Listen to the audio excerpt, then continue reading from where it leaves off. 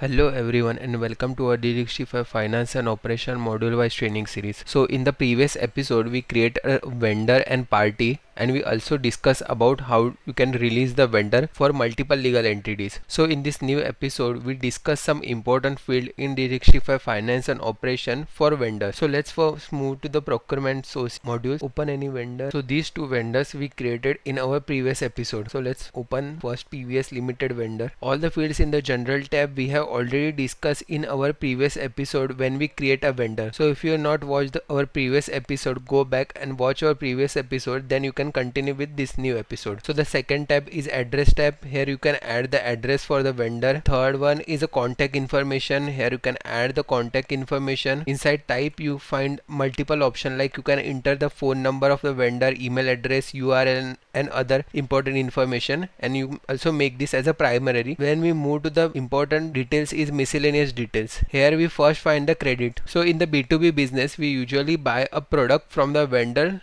through the credit. So buying and procuring the product on credit, we need to set the credit limit for every vendor. For example, this PVS limited vendor, we have set the credit limit to 1 million here. So if we exceeding the credit balance of 1 million for this PVS limited vendor, then system will notify us and also stop us for doing any further operation for this vendor. Find the balance inside vendor. We have the transaction. We have a balance button. So here you can check the balance for remaining for this PVS limited vendor. First for enabling the credit limit functionality we need to account disable. So I'll go to the duplicate tab inside modules. Go to accounts payable. Inside account payable let's collapse this. Inside setup accounts payable parameter. Inside credit rating you need to select the credit limit type. So first credit limit is balance. Credit limit type to balance which means that your credit will be checked against the vendor balance. So if your vendor balance reach the 1 million for our vendor then system can, can't perform any operation for the vendor. And the second one is a balance plus packing slip or product receipt. So normally vendor balance are calculated based on the invoice posting. But in your system you have multiple transaction which is received now but not invoiced. So to include this transaction in the credit limit calculation you need to select the balance plus packing or product receipt. Time being I am using only balance. Then we move to the our previous limited vendor. Next is a buyers group. It's only used for the reporting purpose. So by using this you can group the same nature of vendor to one vendor group and in the later part when you create a purchase order so that you can filter all the purchase order by using the buyers group option. Next we find the vendor hold. Vendor hold is a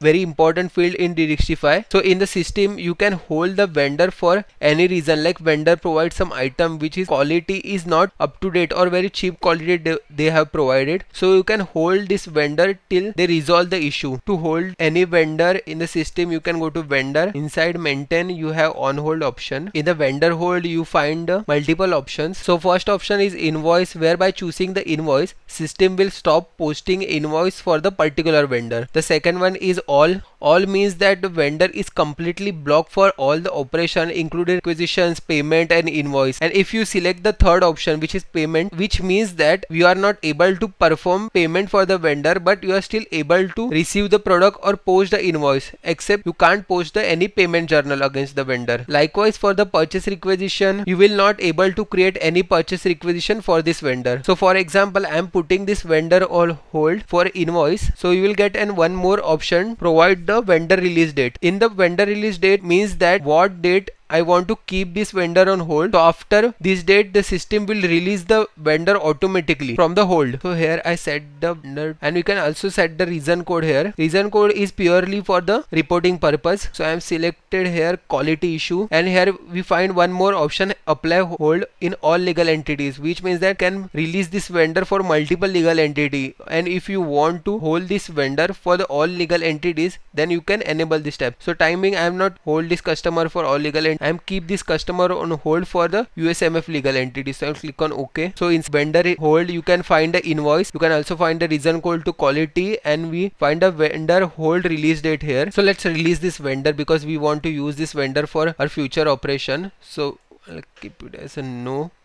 Click on OK so this vendor is now released now. So next is a intercompany setup. To intercompany setup you need to go to general tab and here you need to set the intercompany setup. In our future episode we detail discuss about the intercompany setup and how you can set your vendor to use as a intercompany transaction. So I'll keep it as a future episode. The next and last option in the miscellaneous detail is a vendor rebate group. So vendor rebate rebate is a type of agreement for which we have tie up with our vendor. Rebate means a vendor agree to share the margin within a product. They provide us some target and we achieve that target, we entitled to claim a certain type of percentage discount as a form of rebate. In many cases, vendor allow us to claim a rebate on quarterly, half year and annual basis. So normally vendor rebate setup is done on the vendor level. So here we have to create some vendor group which vendor have the similar vendor group policy or vendor rebate policy. So we group them together and create one vendor rebate group and tag them on the vendor level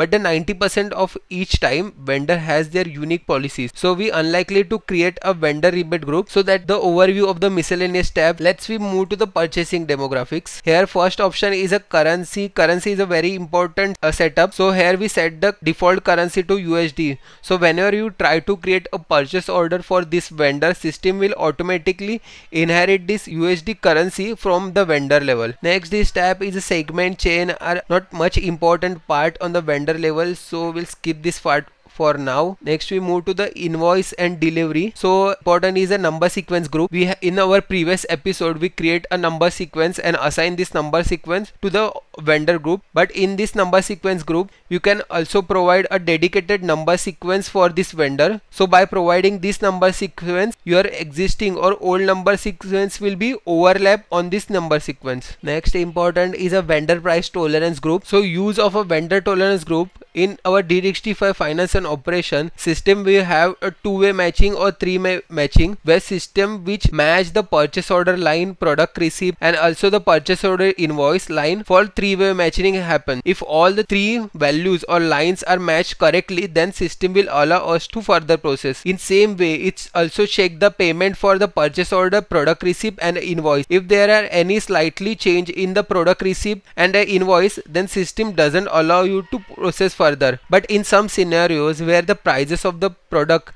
are slightly changed at the time of invoicing but you want to process this order so in this scenario a vendor tolerance will help you. So let's create one vendor tolerance group here.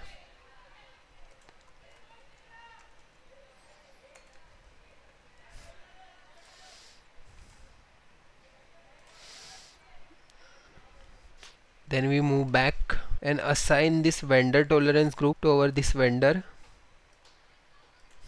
If in your case if the vendor price tolerance group is not enabled then you need to again go to accounts payable module accounts payable parameter. We need to click on the invoice validation and enable the invoice matching validation. After enabling this field we need to again create one setup for our invoice matching. So we go to invoice matching setup price tolerance. Let's create one tolerance line for our group here in the account code. We select the group option and in the group we select our USMF and set the price tolerance percentage to the 5 and we set item relation code to the all. As per our tolerance group if we created a purchase order for this vendor PVS Limited and our payment is $100 and we try to post the invoice for the 103 so this time system will take it as a $3 as a tolerance and allow us to proceed with the invoicing process. Because in the price tolerance we set the tolerance value to the 5% so the next important is a delivery terms. Delivery terms is a point on which the ownership of the goods transfer from the vendor to our legal entity USMF so we are choosing the FOB free on boards which slightly cheaper to us. So the next one is a modes of delivery. So by which modes of delivery? Transporting your shipment from vendor site